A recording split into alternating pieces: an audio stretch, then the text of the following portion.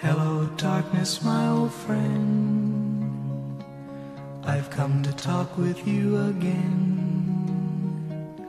Because a vision softly creeping left its seeds while I was sleeping.